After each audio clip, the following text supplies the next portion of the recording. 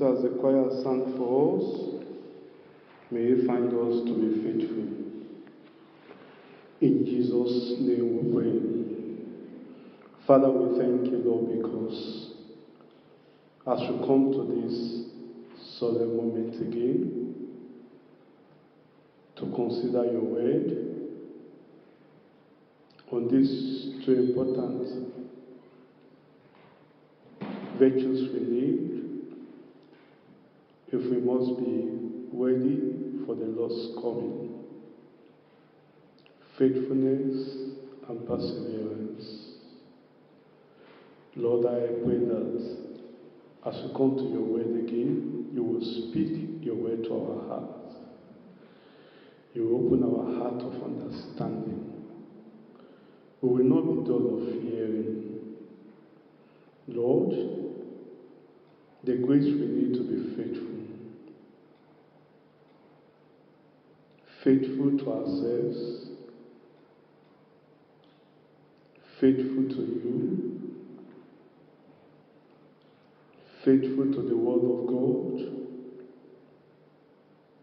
faithful even to the faith of our fathers who have gone before us,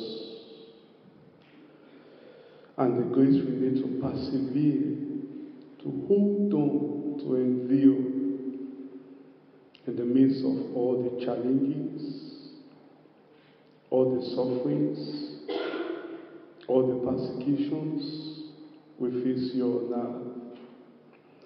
Lord, I pray that you will give every one of us the grace in Jesus' name.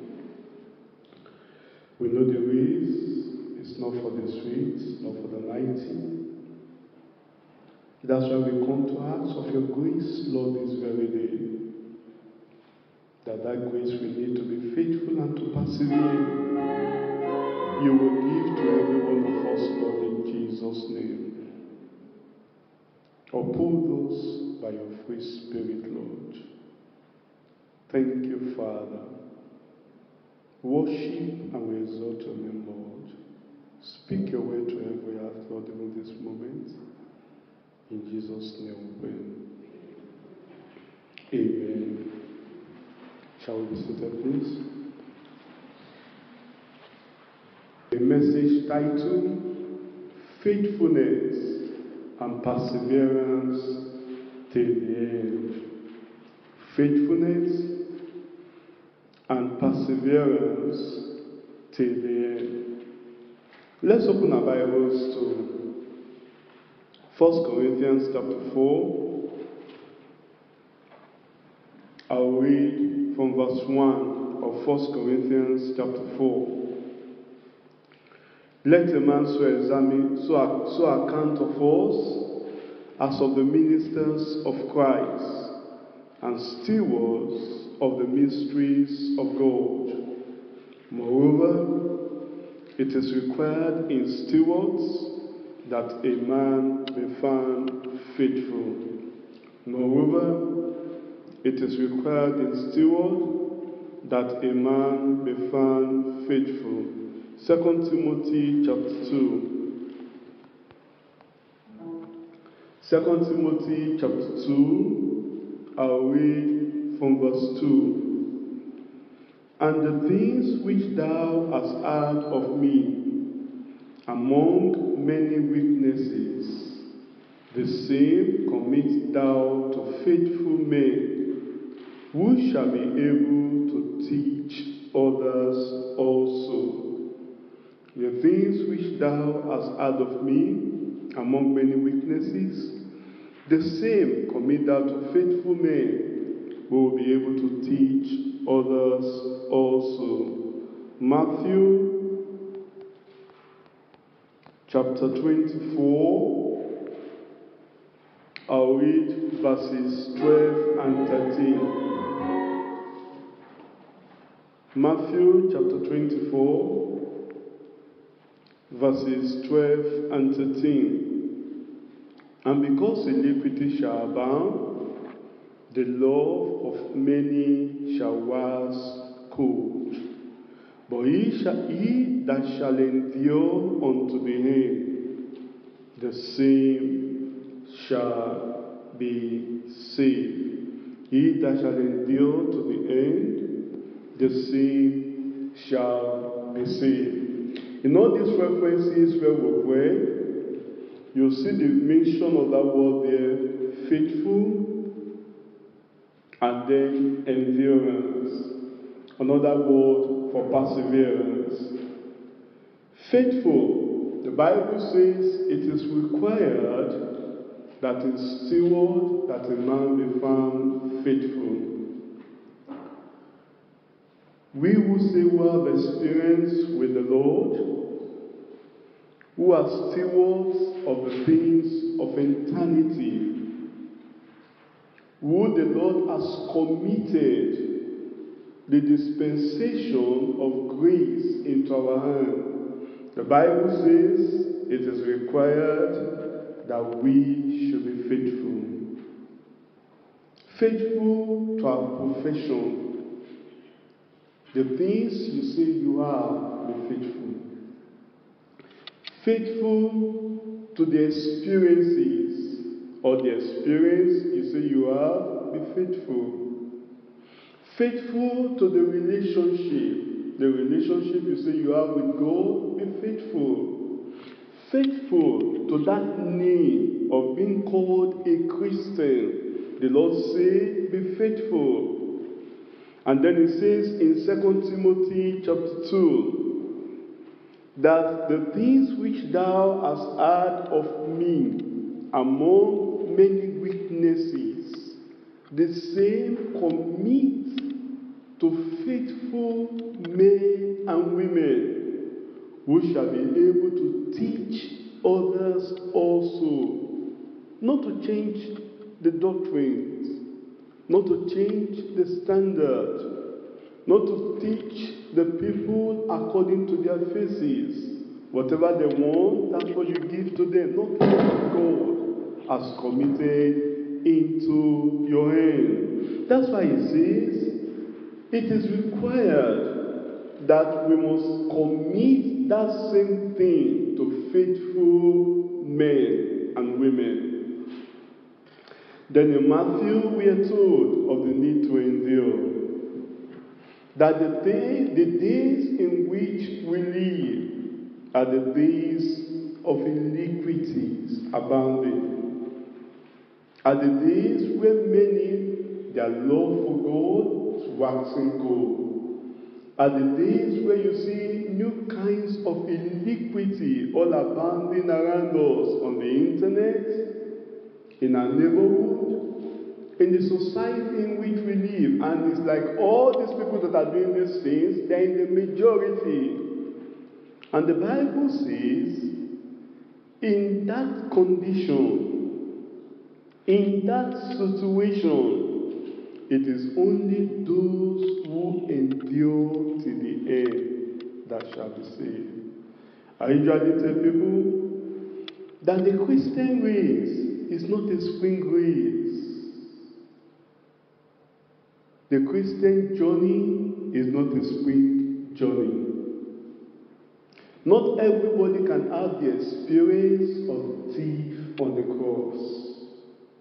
That the same day he accepted the Lord Jesus Christ as his Lord and he looked at him as his Savior, that same day he entered into everlasting life. Not everybody will have that experience. That's why the Lord Himself, because these are the words of Christ in Matthew 24. He that shall endure, there is the necessity to endure. There is the necessity to persevere. Because these are troublous times. These are trying times. These are tempting times. These are times that even the world itself, they are feeling the impact of the hardness of life. And the Lord say, in the midst of all those conditions and situations, it is only those who endure to the end, endure in what they believe, that though what they believe might bring trials, that though what they believe might bring troubles, that though what they believe might make them to be unpopular, that though what they believe might make them to be unacceptable among the people, those people that endure in the midst of the denial of even their legitimate rights, in the midst of the persecution, in the midst of the fact, only those people that endure to the end shall be saved.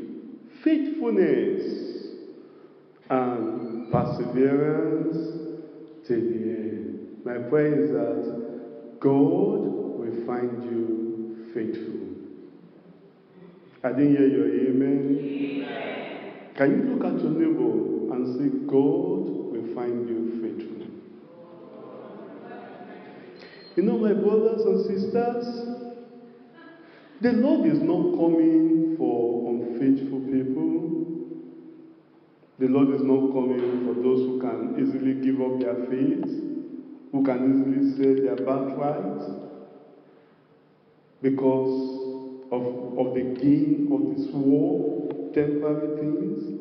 The Lord is not coming for those who outwardly may look Christianly, but inwardly they look devilish. The Lord is not coming for those people. The Lord is only coming for those who are faithful. The Lord is only coming for those who can stand, who have that staying power in the grace of the Lord. Not those who are rising and falling today in the grace, tomorrow out of the grace. Not those who are, you know, today they're in the mountain, tomorrow they're in the valley, today they shout hallelujah, tomorrow they are singing the songs of the devil. Not for those kind of people. Because if the trumpet will sound now, it's only those whose ears are tuned to spiritual matters that will hear the sounding of the trumpet. Will be counted worthy. I pray you will be counted worthy. Faithfulness. It is an art of staying with or supporting a particular, a particular person or stay with a belief that you've known. That's faithfulness. That's faithfulness. That what you've known over the years, you know, some of us we've been in this Christian race now 10 years, 5 years. In fact, some of us were even born in this Christian race. 30 years in the Christian faith. And you've known the belief, you've known the word of God. You've known what God commanded, what God required. Or even you say, Well, I've been in the Lord just for a month. And you are here even at the retreat with us. If you look at this retreat, our Father in the Lord has almost covered all, he covered all the doctrines of the Bible which we believe about God, repentance, sanctification, restitution, hell, heaven, the rapture of the church, the second coming of Christ. In fact, the theme of this retreat is even on one of those doctrines which we believe. It is required when you talk about being faithful that anywhere you are, anywhere you go, you stay with that belief. You hold on to that belief. That's faithfulness. You don't say, oh, because I'm in a different environment, I'm in a different situation, I'm in a different circumstances. Let me see how I can change the belief to suit the situation where I am. Our Father in the Lord told us this morning, God cannot change. He will never change his word in any situation. It's the same foundation. It's the same belief. It's the same faith. And faithfulness is when you stay with that belief. When you hold on to that belief, not just have it on your head, but you transfer it into your soul, you transfer it into your spirit. Others may not accept you, Others may oppose you. Others may tell you, oh no, that's for the older generation. We are now in the modern generation. You hold on to the belief like the lamb last night. The old fashioned way, the old landmarks. I pray God will give us the grace to hold on to that in Jesus' name. Faithfulness is when you stay, when you rather stay in power. Stay power with Jesus. Anywhere you go, you are not afraid. You are not ashamed. Paul the apostle said, I am not ashamed of the gospel of Christ. There are some people they are ashamed of Christ.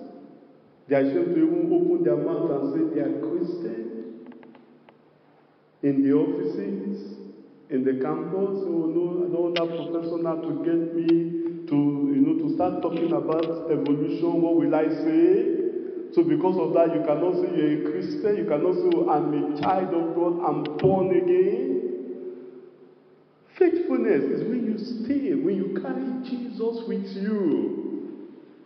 With you everywhere you go. You come to church, you go to your place of work, you go to that campus, you take Jesus with you. You take the word of God with you. The pastor may not be there, the leaders may not be there. You take that word, that word of heard, you take it with you. That is faithfulness. And you know what, brethren? God required faithfulness from us if we must dwell with Him eternally in heaven. It demands it from us. That's why I say it is required, it is a necessity that a man be found faithful. I pray you will be faithful. I said you will be faithful. And to persevere is to endure. To persevere is to be constant. To have that staying power. That's perseverance.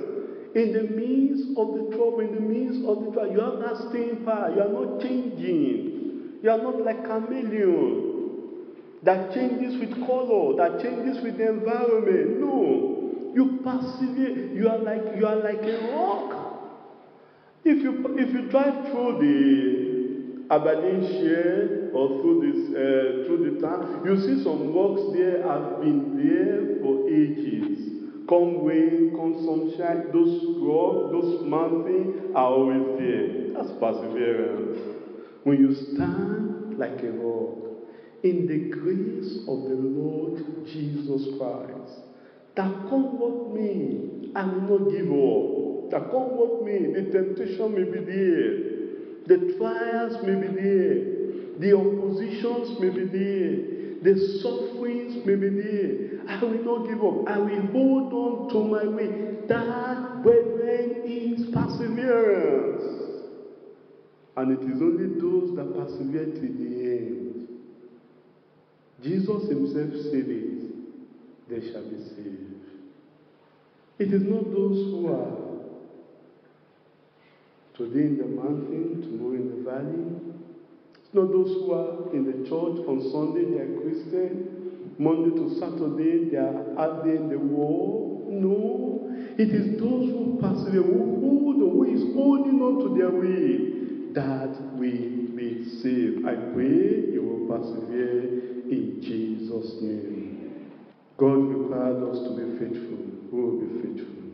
In the Christian game of life, we are to be willing to pay the price by standing for our convictions. That's faithfulness. You must be willing that because I am a Christian, I cannot do this. That's faithfulness. You must be willing to pay the price. If Christ paid the price for your salvation and he died on the cross, you must be willing to pay the price for accepting Jesus Christ as your personal Lord and Savior. Since you became a Christian, what price have you paid for you? You want to get to heaven. I pray we'll pay the price. In fact, it was Charles Spurgeon that says, There are no crown wearers in heaven that were not cross bearers here below. No crown wearer. If you want to wear the crown in heaven, you must be willing to bear the cross. And the cross, you know, when we talk about the cross, people always think that, oh, once I wear the cross, I'm bearing, I'm, you know, I'm carrying my cross. No, that's not the cross we are talking about, brethren. It's not the cross you wear on your neck. It's not the cross you put on your ear. It's not the cross you put on your feet. The cross we are talking about is the reproach of Christ. Is the persecution that will come because you say you're a Christian. Is the opposition that will come your way because you are standing on the Christian conviction in which you believe. That's the cross we are talking about. As Paul said, there is no crown in heaven that have not borne a cross here on earth. If you must wear the crown in heaven, you must carry the cross on earth. I pray the Lord will help us. Faithfulness and perseverance till the end. Three points quickly. Point one, the practice of faithfulness by Christian servants.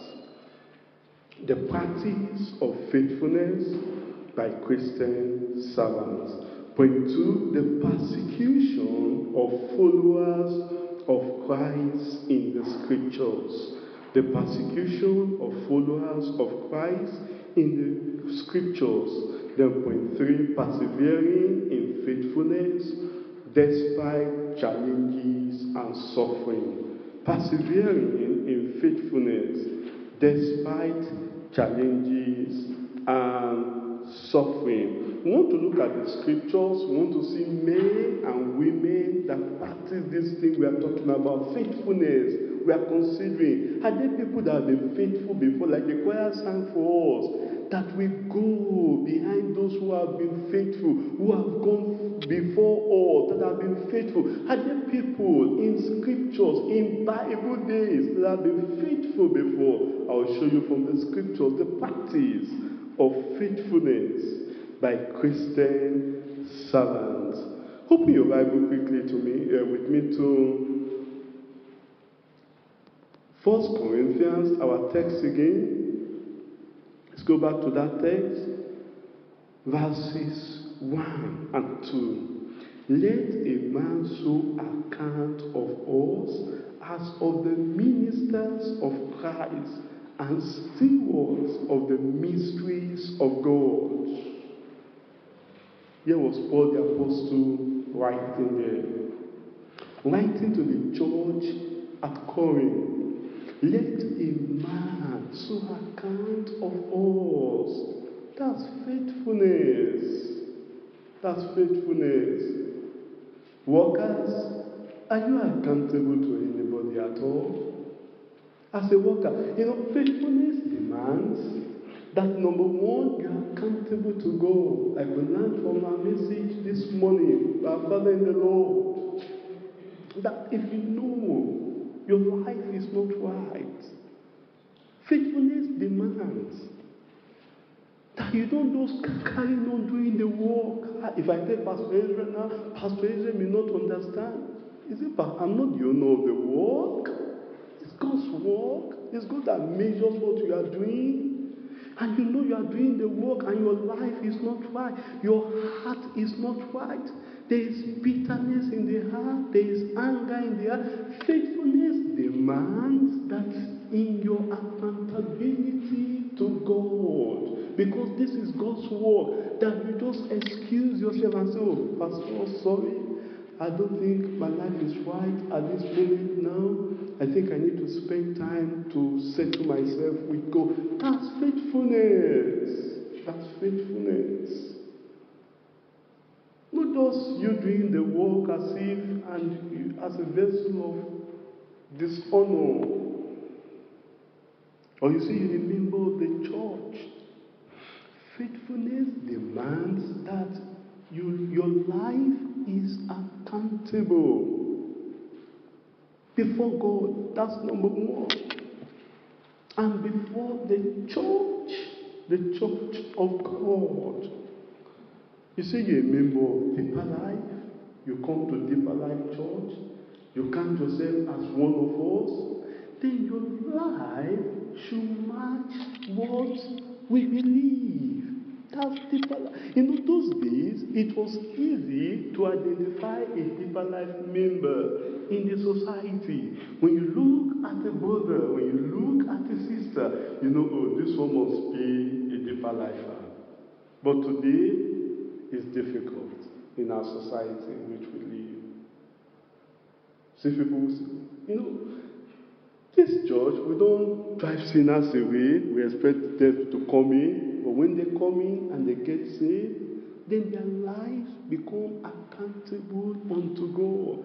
It is required faithfulness. Here was Paul the apostle. You see the practice of faithfulness there demonstrated. He said, Let a man so account of us. Husband, can your wife account for your life when she is not there? Can your wife say, I trust my husband? I know that that man is a man of God. Wives, can your husband testify to your, to your life? And so, I trust my wife. I know she has the grace of God in her. The way you talk to your husband, the way you even put your husband down, the way you even fight with your husband. And these are Christian life. These are Christian couples. These are people who say they come to deeper life. They hear the word of God, but they don't practice the word of God. Paul the apostle said, let a man account of us. That's faithfulness. That's faithfulness.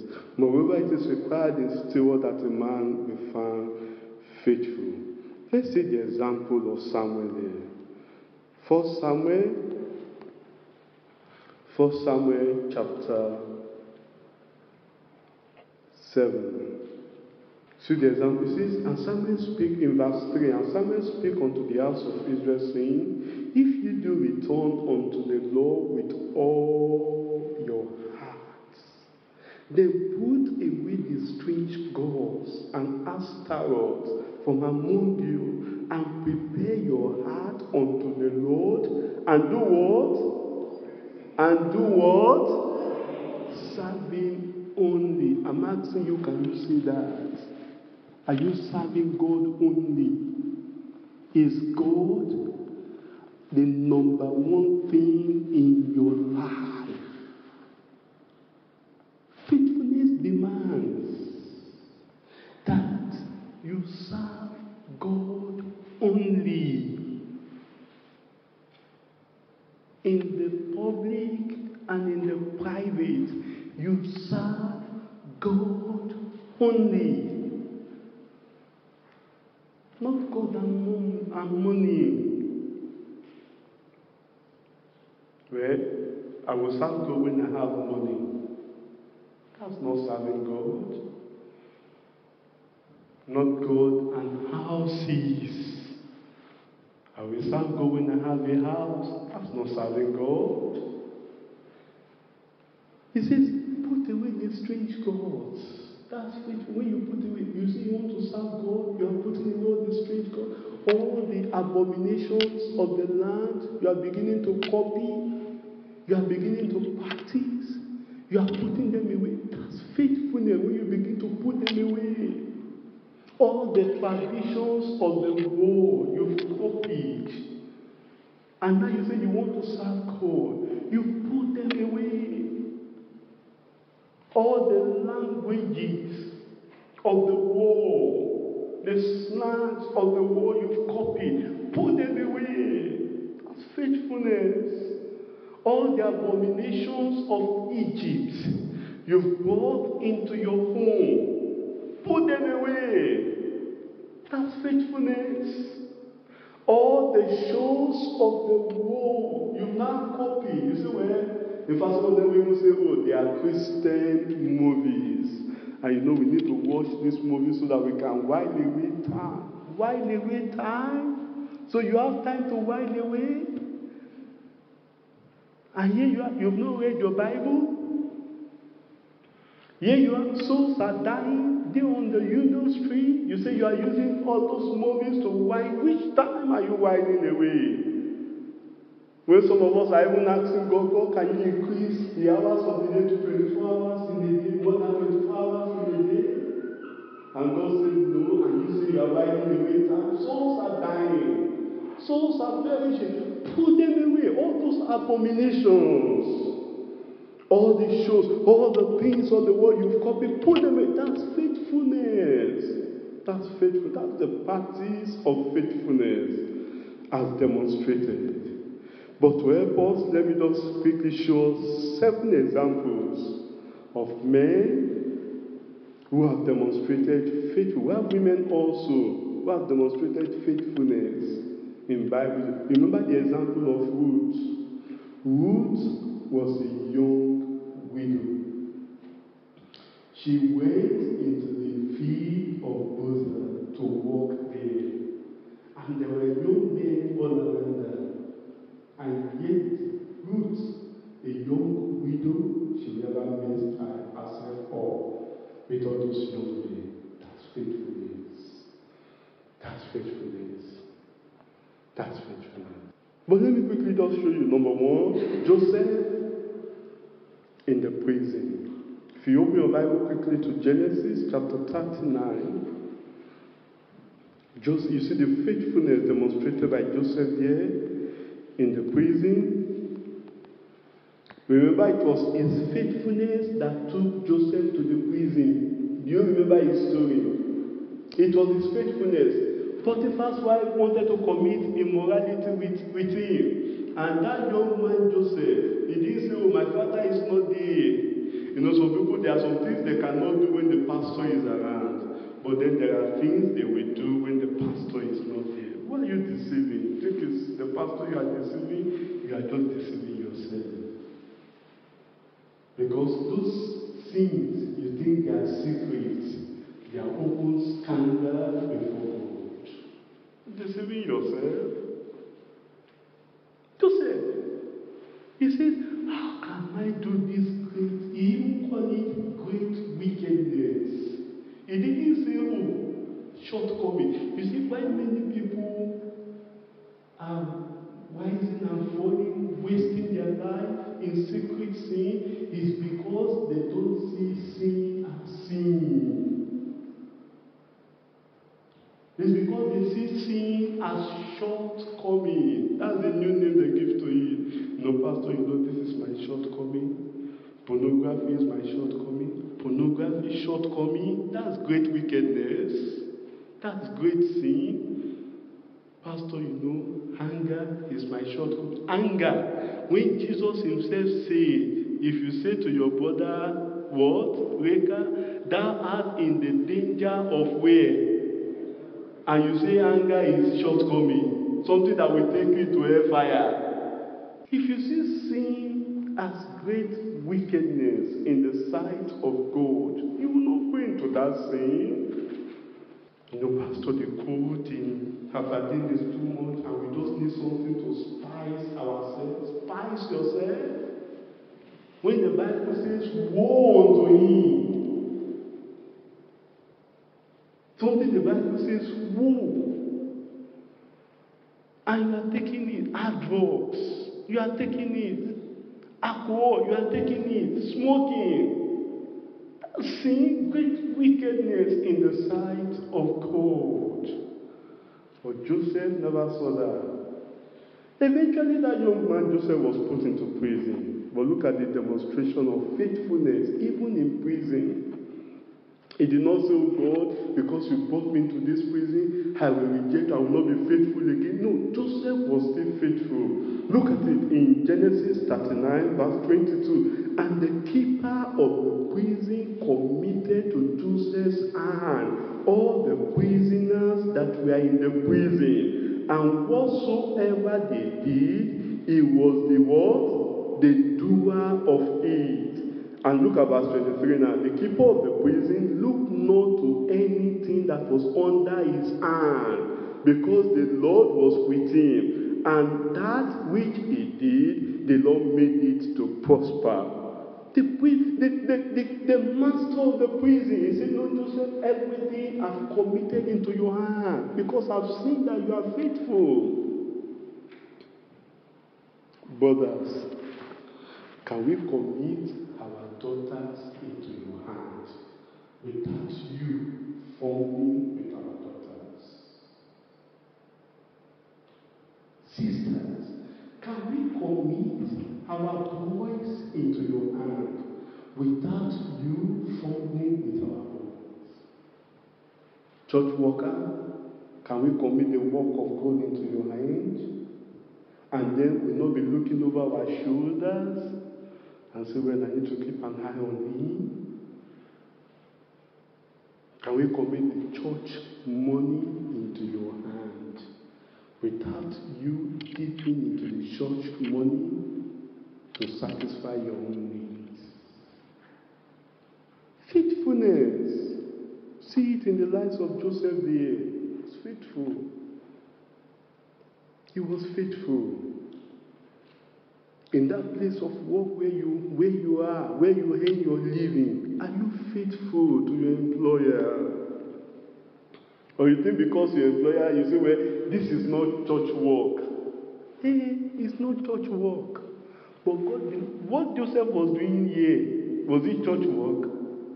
Keeping of prisoners. Don't you read it in the Bible? Keeping of prisoners. It was not church work. It was his own employment, and yet that man Joseph was faithful. Are you faithful? When you are expected to work for eight hours in a day, are you faithful? Are you working that eight hours? Are you faithful to that hour? Or you think God doesn't mind that? You say, ah, this one is, uh, I cannot come and kill myself in another man's country. Then why are you? Why don't you in your own country? Faithful. Faithfulness demands that even in your employment, if you're expected to work for eight hours, you work that eight hours. Do it diligently as unto the Lord. As unto the Lord. Know that out of the eight hours, you spend more than half of the hours doing your own personal work.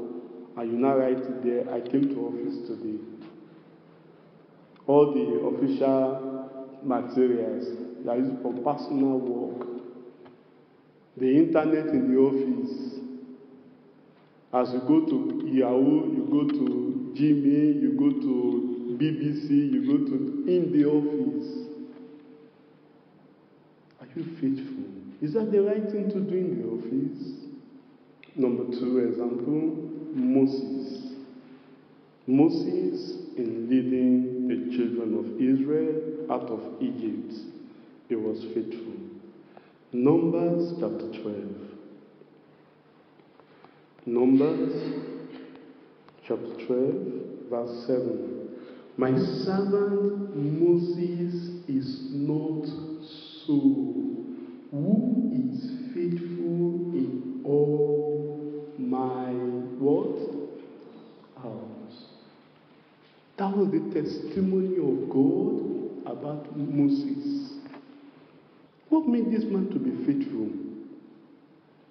Do you know what made him to be faithful? God gave him an assignment. Go and tell Pharaoh, let my people go. Moses did not change that assignment. He did not say, oh, I think uh, maybe God did not God did not understand the situation of these people.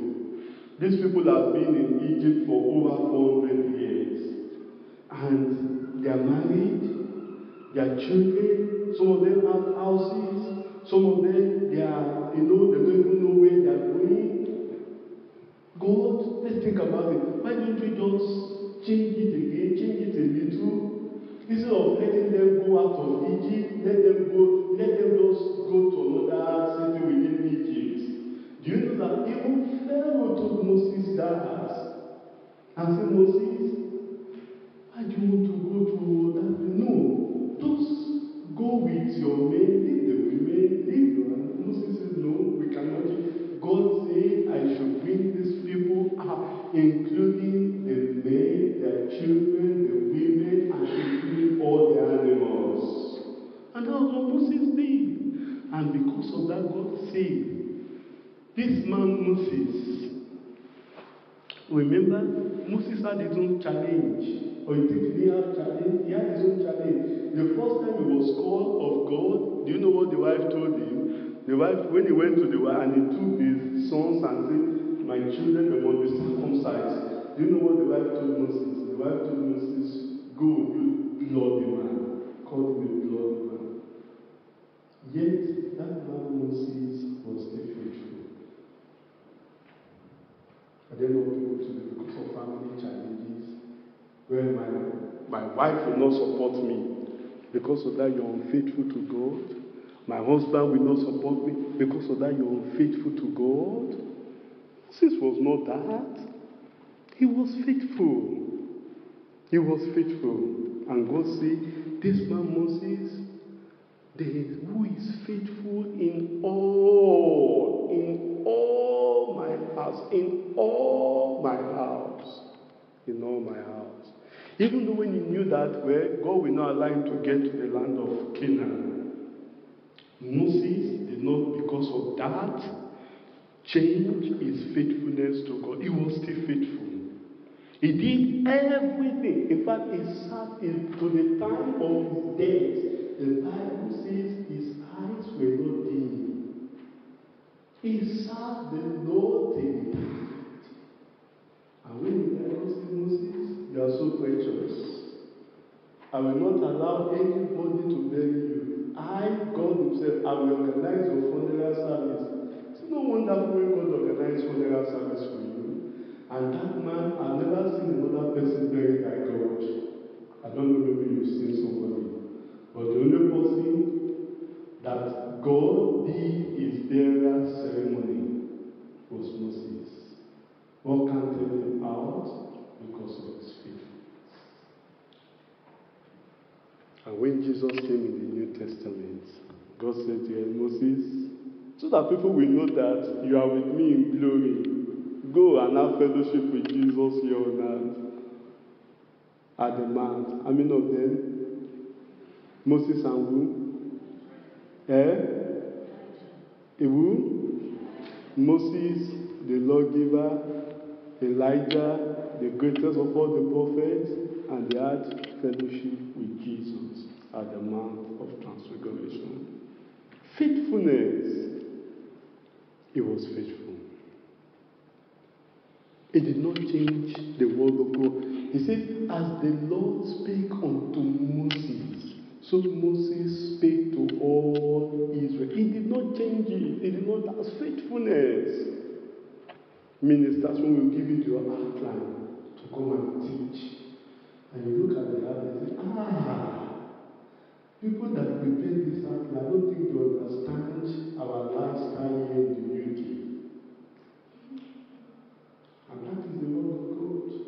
And because of? Since I'm the one that have the outline, you not change the outline. Instead of giving the people the word of God, you are now giving them stories. It's faithfulness. That's faithfulness. Moses, as the Lord commanded Moses, either the people like it or not, so Moses commanded the children of Israel in fact, some of them were told were of hardened hearts. Well, you know, the people, they, there was a time they even took stone. They wanted to stone Moses, but that man was still faithful. I pray you'll be faithful. Number three, we have the example of David. David in the house of Saul. David.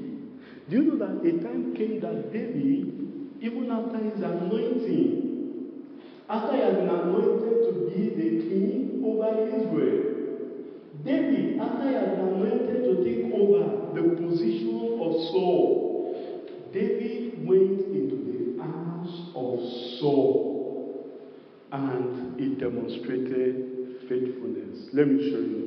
1 Samuel chapter 22. 1 Samuel chapter 22. I will read verse 14.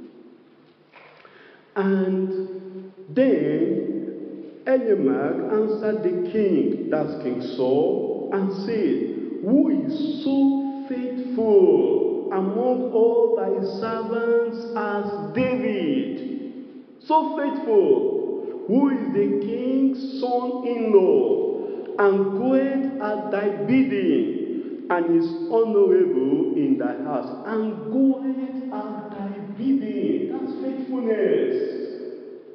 That's the faithfulness we are talking about there. It goeth at thy bidding. You don't just do things in, when the leader says this is what to do, it goeth at thy bidding. Not to say, well, uh, Pastor, I don't think I can do that. Uh, I will do my own thing. No, that's the faithfulness we are talking about there. It goeth at thy bidding. It was the king's son-in-law. Son-in-law. Not only, he did not allow familiarity to bring context. That's faithfulness. When you don't allow your familiarity with leadership, your, you, your familiarity with the pastor or with the leaders in the church, you don't allow that to bring context. You now begin to look down on them. David, the Bible says, he was so faithful. Not only that, David at this time had more anointing than Saul, and he was still faithful to Saul. He was still faithful. When your leader speaks to you, and you look and say, Who is that person that is talking? What does he have? What's his qualification? Does he have a, does he even have a degree? Okay, doesn't have a degree. It's not in my category. See yourself. That's not David. That's not David. Remember, at this time, David had killed Goliath. And the old women, they have been shouting, they have been singing his praise. David killed his ten thousands, Saul his own thousands. Yet, this man David was still faithful to Saul. That's the faithfulness we are talking about here. And the Bible says, what made him to be faithful was that he goeth at thy bidding. If the leader says, This is what we want to do now, do you argue? You say, oh, it's like my leader don't understand. Leader may not, you may see your leader don't understand, but your leader understand what you don't understand. Leadership is all about leading the people in the right direction. And faithfulness demands that you go at the bidding of the leader. Number four, Ananiah. Nehemiah chapter 7. Maybe you are not familiar. Some of you may not be familiar with this before, but let me show you in the Bible. What's the faithfulness demonstrated here? Nehemiah chapter 7, verse 2. Nehemiah chapter 7, verse 2. Then I give my brother Anani and Ananiah, the ruler of the palace, charge over Jerusalem. What did the Bible says? For what? He was what? A faithful man. What made him to be a faithful man? He feared God above men. Do you fear God? In the decisions you take, do you put the fear of God first? In the things you do, do you put the fear of God? You fear God above many? Faithfulness, faithfulness demands is demonstrated when you have the fear of God above the fear of man. That's faithfulness. If you fear God, you will not contradict His word. You will not go against His word. You will not do anything that will bring displeasure to God when you fear God. That's faithfulness. That's faithfulness. Then you have the example of Daniel. Daniel chapter 6, verse 4. The Bible says that the princes and the governors they tried to find fault in Daniel, but they could not find any occasion or fault in that man. That's faithfulness. When you are faultless, even in Babylon, in your place of work, there is no query that is raised against you because of your negligence of duty. That's faithfulness. In at home, your husband will not find any fault in you. Will look at and say, Oh, I thank God I married a godly woman. No fault. That's faithfulness. Or your wife, as an, as an husband, will not find any fault in you. We say, Oh, I thank God I married a godly man. That's faithfulness. No fault. No blemish. No stain. Faithfulness. Faultlessness. That's faithfulness. And you have the example of Paul the Apostle in Acts chapter 20, verses 20 and 27. He says, I declare unto you the whole counsel of God. That's faithfulness. When you declare, you are not holding back the word of God from the people. You are not speaking to people with one corner of your mouth and the other corner is hiding something you don't want them to hear. Because you know your own life is not also right in that area. You declare the whole counsel of God. Give them the whole word of God. That's faithfulness. And then lastly, you have the faithfulness of Antipas.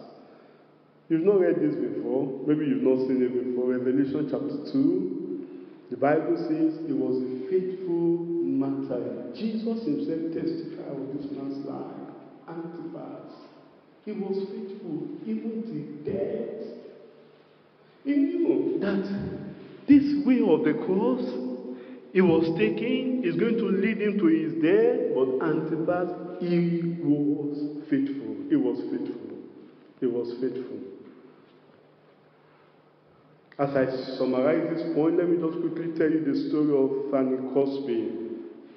If you know Fanny Crosby, he was a prolific songwriter, but then she was blind. You know, if you sang this song, God will take care of you. She wrote that song.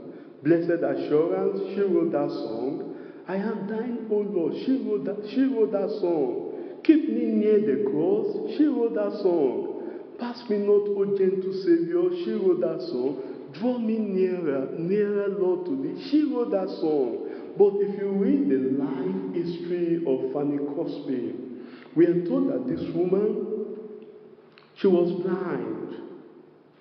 She was blind at an early age. Yet she never allowed that blindness to hinder our, useful, our usefulness to God. Our usefulness to God. Despite her challenges, despite her predicament, she was still faithful. She was serving God. She worked tirelessly in writing, in speaking, in ministry to the poor. in the slum, in the city of New York. And yet, she was blind. She served the Lord till the age of 95.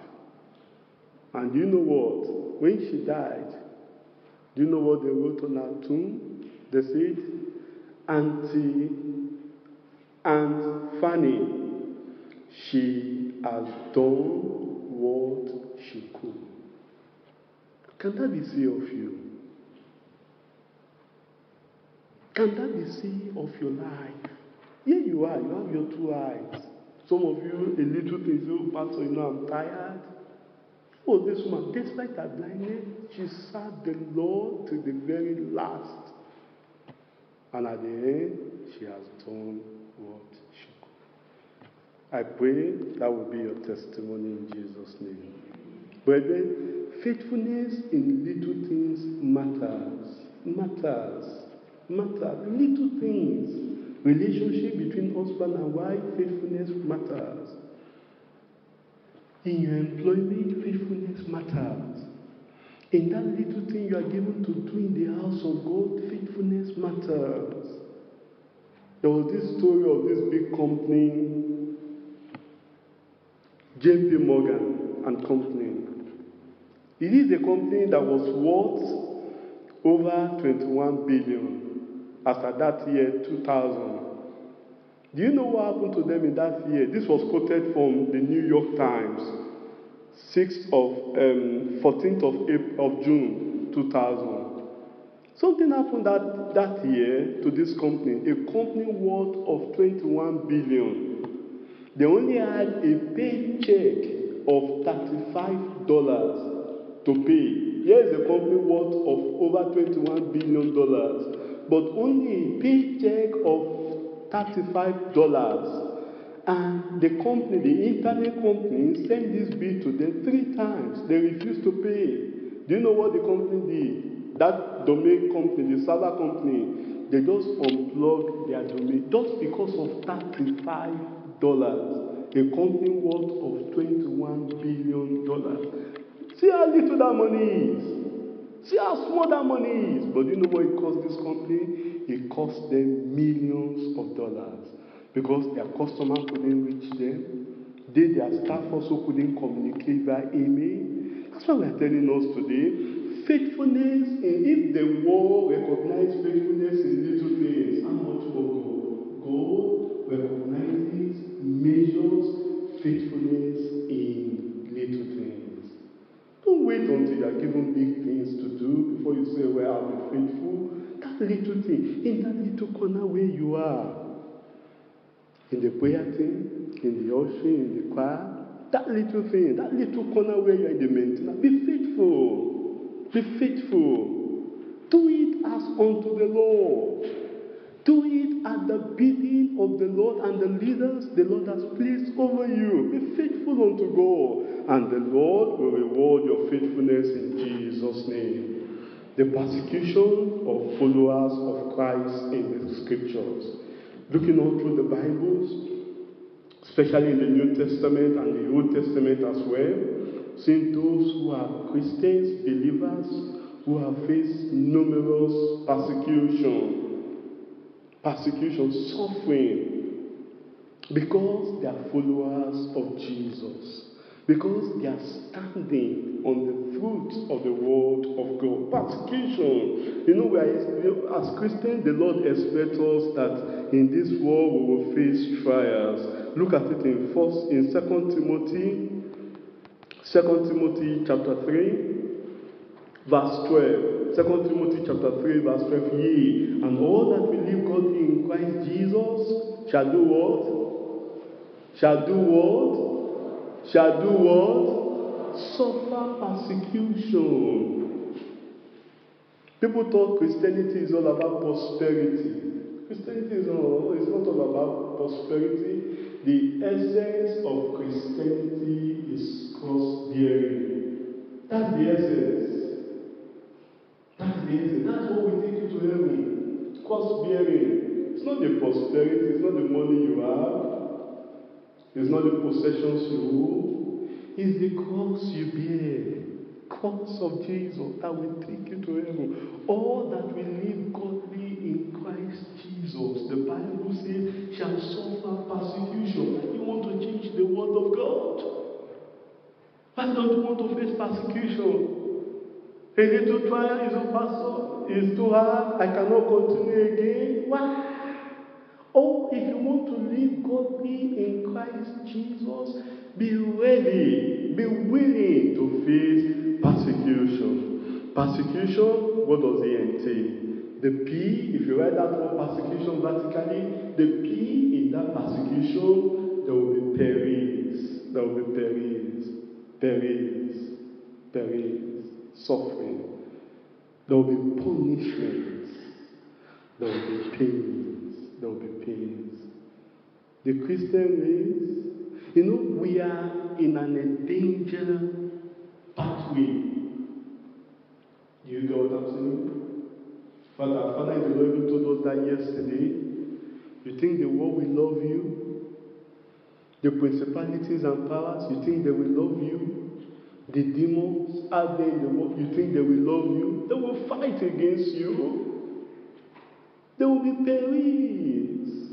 Don't live a careless Christian life. Don't live a life as if nothing is happening out there in the world.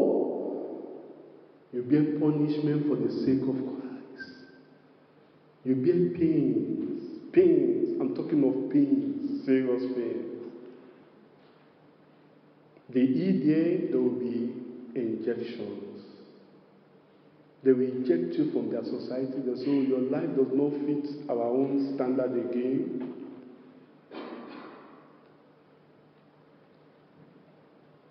They will not want to see you in their company because of your Christian stand. That's the persecution we are talking about. There will be rejections. The arrow there. You'll be rejected of men. Can I tell you this morning, if the world approve of your lifestyle, check your Christianity.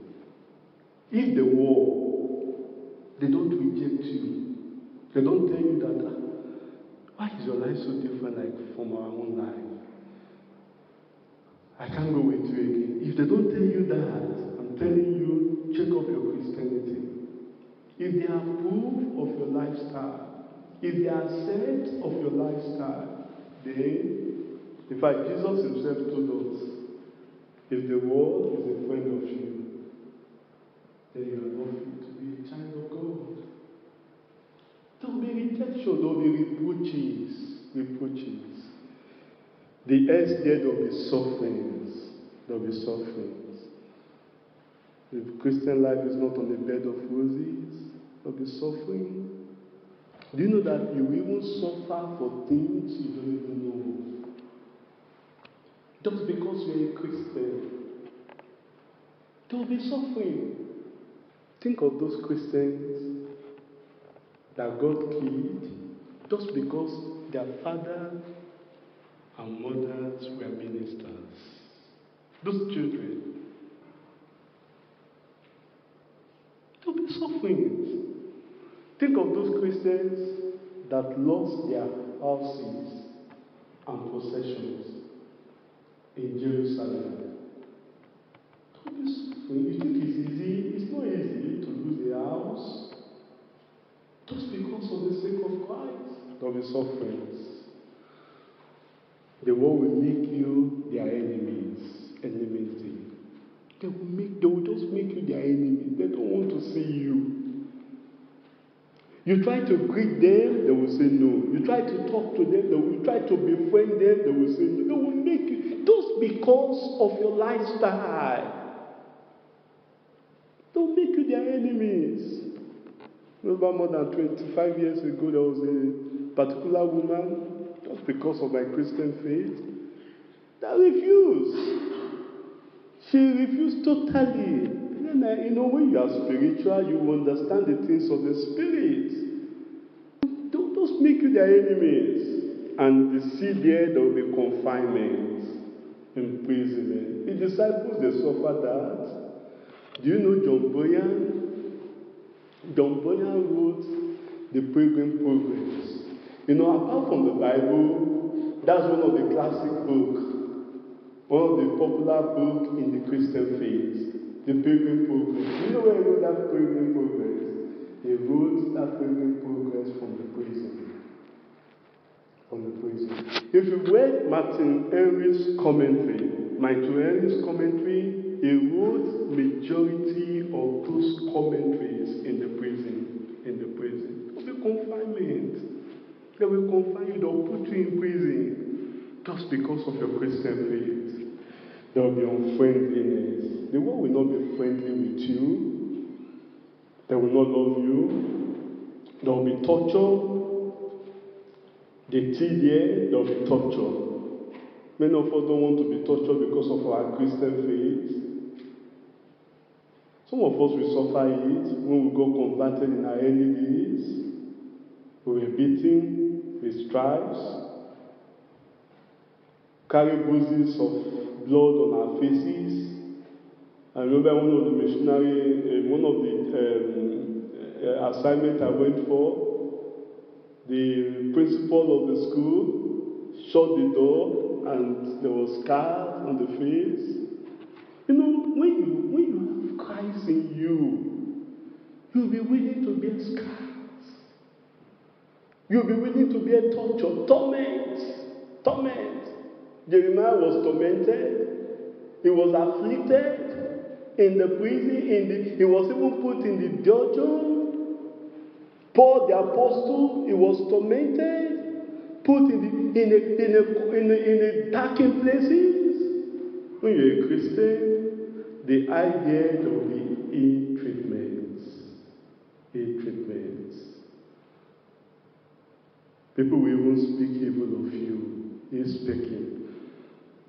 The old year of the oppressions. I'm not talking of demons now oppressing you. I'm talking of you know, that manager just sitting on your promotion just because you refuse to compromise. You refuse to change the standard. You refuse to go along with him just because of your Christian faith. That's an oppression. Not talking of witches and wizards oppress. If you're a child of God, witches and wizards don't, they won't oppress you, you will sleep. But I'm talking of the people of the world that will deny you. You think when they deny you of your legitimate rights, because you're a Christian. That's oppression. They will oppose you, there will be opposition. And then the end there, there will be negativity. There will be negativity. It was William Steele that said, It is impossible to be faithful to Jesus Christ and not incur the opposition of the world. It will be impossible to be faithful to Jesus Christ, and you will not incur persecutions will come, trials will come. People will hate you, they will oppose you. For we are told of the early Christians in the second to fourth century AD in the city of Lyon, that's in, in France. You know, these Christians, they were mass slaughtered Many of them were thrown into white beads in Rome at that time. If you've been to Rome, there was there's this theater, you know, that was used. With all these things you read in the Bible, they are there. They happened really. The persecutions the believers faced them. Many of them, they will use them to do show. White beads, lions, and all these other white beads, beard, they will come out and the Christians naked in the theater of the Romans, of the people. They will look at them like this, and many of them were eating raw because of their Christian faith. I'm asking you, brother, what have you faced? Asking you, sister, what have you faced? A little reproach, you say, Well, I will not serve God again. A little deny, you say, Well, I will not go the way of God again. What have you faced? early believers, they face more than what we are facing today. And we have other believers, even in other places in the Middle East, facing similar situations today. Have you not read of those believers, those Egyptian Christians, that were bought before the sea? And right there, they gave them the opportunity to deny the Lord Jesus Christ. And they said, No, we are not denying Jesus, and right there they were slaughtered like animals. But indeed, didn't you watch it on the videos? Or you know read of those in Boko Haram places, in those ISIS places? Christians that are raped. In fact, there is this society in the UK that tells us today that over one million Christians are facing persecutions even today. Even today. Even today. And you want to get to heaven with all these Christians. You don't want to face anything. All those that live godly in Christ Jesus shall suffer persecution. Persecution is part of the Christian deed. Don't take it away. But we will be faithful. That's why we need to persevere. This leads us to point three quickly before we pray. Persevering in faithfulness despite challenges and suffering. Persecute, persevering. We need to persevere. The Act of the Apostles is a testimony of faithfulness of early believers. Despite their challenges, despite the persecutions they encountered in the ministry, they were faithful. In Acts chapter 4, they called them, Don't speak again in the name of this Jesus. We don't want you to speak again in that name. If the government come to yours today now and say, well, you deeper life people, we don't want, we add that you people are saying marriage is between a man and a woman, and as a result of that, you deeper life people now, if you say you don't want to conduct marriage for gay people, you don't want to conduct marriage for lesbians, we remove your license to preach. I'm asking you, will I still have you in this church? Will you still stand by me? Because I'm going to stand. I'm going to continue to preach it. That as long as God gives me life and breath in this country, I will never join the hands of gays together. I will never join the hands of lesbians together. Because marriage is between a man and a woman. That's the word of God. That's it. We need to persevere. They told the disciples, as long as we do that, and the disciples said, we ought to obey God rather than man. Rather than men. We ought to obey God. That's perseverance. That's the staying power. I pray God will give us that staying power in Jesus' name. We are told of Paul the Apostle. He fought his ways to the end. He was faithful. He held on tenaciously. And in First Timothy, 2 Timothy chapter 4, when he was writing to Timothy, look at the testimonies of his life. First, Second Timothy chapter 4, verse 7. I have fought a good fight. I have finished my course. I have kept the faith. Henceforth, there is laid for crown of righteousness, which the Lord, the righteous judge, shall give me at that day, and not to me only, but to all them that love is appearing. That's faith. That's perseverance. That man, Paul the apostle, he was faithful to death. He was faithful to death. He, if you read second, uh, second Corinthians, he gave us a long list of all the trials he faced in perils of water, in perils of bread, then in perils, was in perils of this, in perils of that. He faced all those things. And yet that man, Paul the apostle, at the end of it said, I have finished my course. He persevered to the very end. We are told of Peter the apostle, when he was called, they wanted to crucify him. He refused to deny the faith. They said, Well, Peter, you are sentenced to crucifixion, the ultimate death for the worst of criminals in, in, uh, in, in, um, in Rome at that time. And that man was to be crucified. You know what he told them? He said, Please, before you crucify me, give me the honor. Can you crucify me upside down than crucify me as my Lord and Savior? And Peter was crucified upside down. After this one, Stephen, Stephen was stoned to death. He was stoned, and when they were stoning he looked up to heaven. That's perseverance in the midst of your challenges, in the midst of your troubles, that you are looking up to heaven. You are not looking up to men. You are not looking up to you are not looking out for a way out, but you are looking up to looking unto Jesus, the author and the finisher of our faith. That's perseverance. They look up to heaven and they say, Lord Jesus, into thy hand I commend my spirit. And that man is come. Perseverance to the end. Perseverance. That's what we are talking about today. That despite your challenges, brother that despite your challenges, sisters, you know, you persevere, you hold on. The temptation will come to deny the Lord, you hold on. The soldiers of the cross who falters and retreats in the face of the enemy is not worthy of the name he is or she is. You are not worthy. You falter or you retreat, you know, the Christian race, you come to a race of no retreat, no surrender. But if you retreat, then you are not worthy of the name you bear. Hold on to the.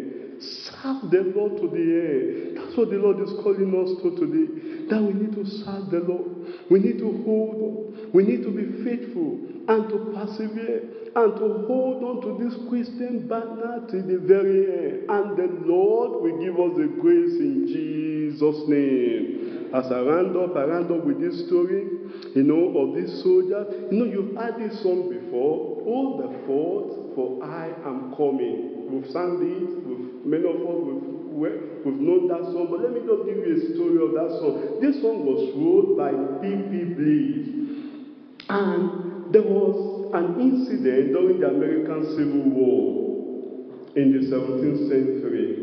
And one of the soldiers at that time, one of the generals, his name was General Coles. He was, he was leading a battalion of army. And at that time, his battalion suffered many casualties.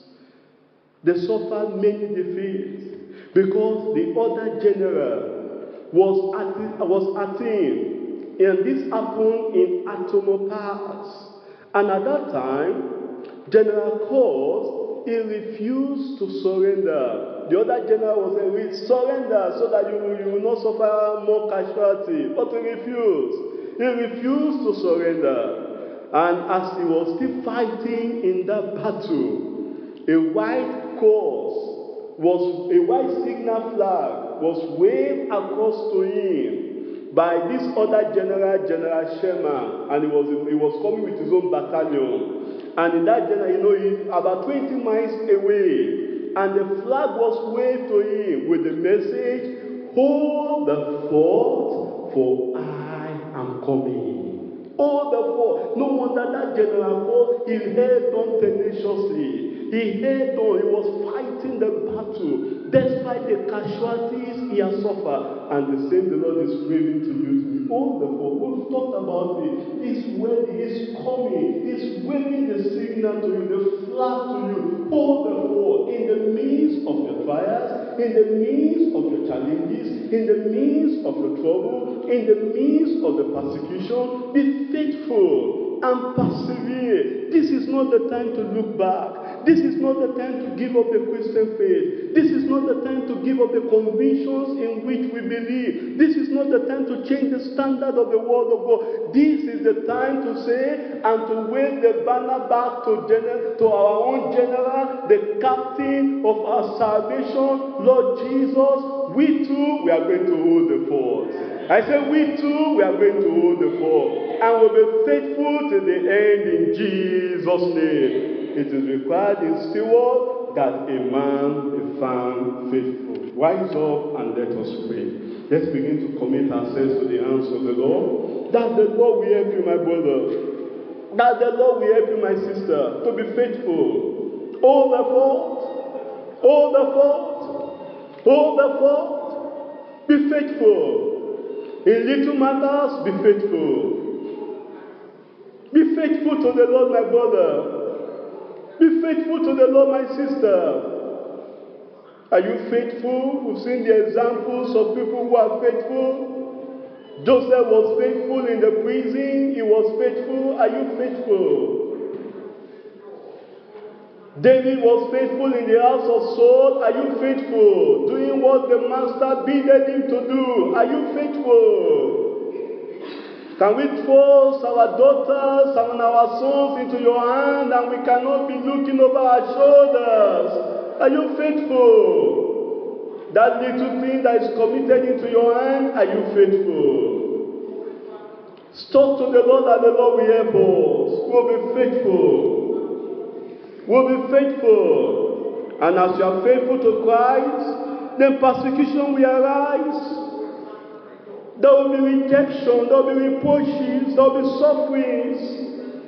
The people of the world may not like your face because of your stand for righteousness, because of your stand for holiness, because of your faithfulness to the Lord. Be faithful. Be faithful. Persevere.